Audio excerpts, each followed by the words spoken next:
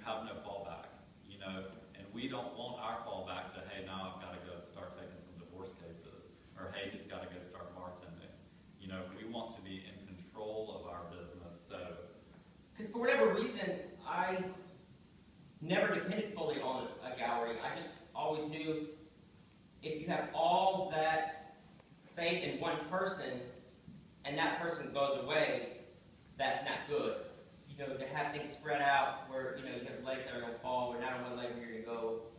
But here's the thing, on says about galleries and saying there's some good, some bad. Yes, and there's some good, some bad businesses and everything. Just because somebody's a doctor doesn't mean they're going to do a good job. But in the sad situation for me in the world of art, for galleries that are not good, what a gallery is doing is taking away from the profession that's the hardest to figure out, and they're taking from that person that is barely even able to do it because they're graduating afraid to even be able to sell their paintings because normally they can't. So they're deciding they're not going to. Here comes big old fat gallery with the contract slide across the table. The artist in their mind has won once they sign the contract and they're represented in New York because they already know they're not going to make any money. And they're going to have to do something else for a profession because they already taught that. they've So already been told that. now that they're represented in New York, all they have to do is go and represent New York and they're successful. And they never evolve. They never get to new things. They never go find another gallery to get into. So the hard thing for me is that about taking from artists. And number two, what other business is there that you manufacture the product and then you have the place that sells it and the place sells it on consignment? Any other business you open, you buy the merchandise and you stock the shelves and you sell the product and you make your money back. And you know what happens when the product doesn't sell and you've had this shirt for $30 for six months, you reduce it 20%, and then if it doesn't sell, you reduce it 40%, and the store sells it. It doesn't reduce the value of the manufacturer because the store's selling it. But it's the artist always being the owner of the, the art.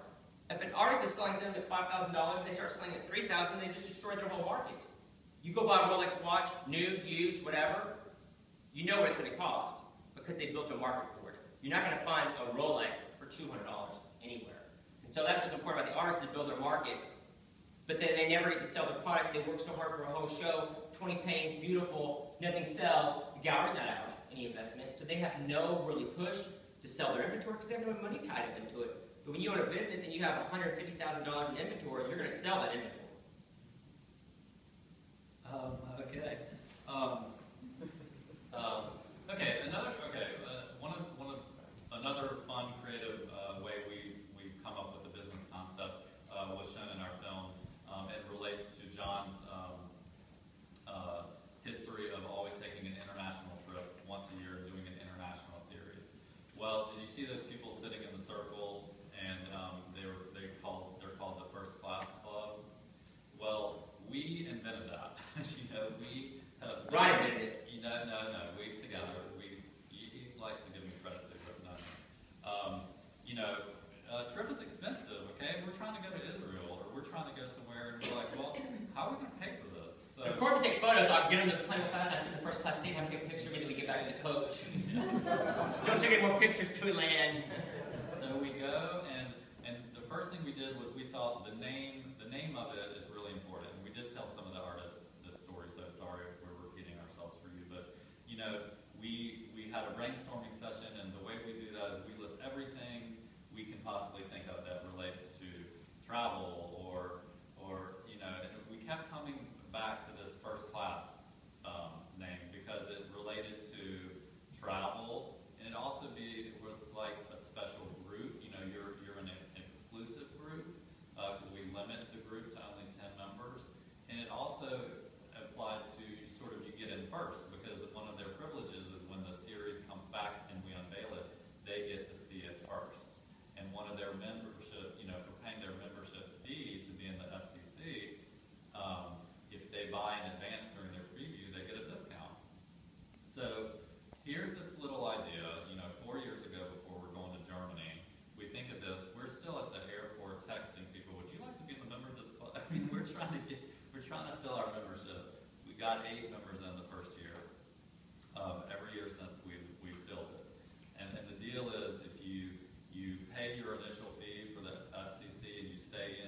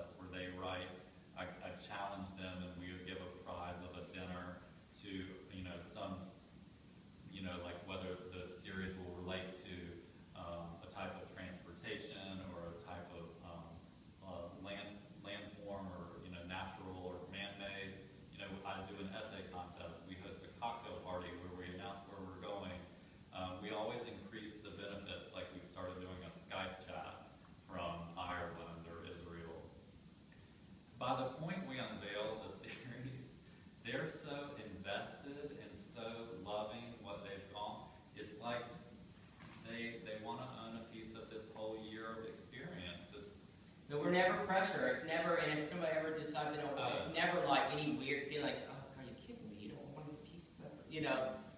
Because then people don't want to be around that kind of feeling eventually. They might give in that one time, but they're they're going to disappear.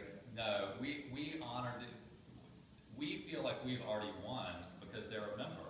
We've already, you've already helped us pay for our trip. So it truly is a bonus if they then buy the one of the paintings. I, I will say since the institution of this club, we always, John does eleven pieces in his, um, F, F international series.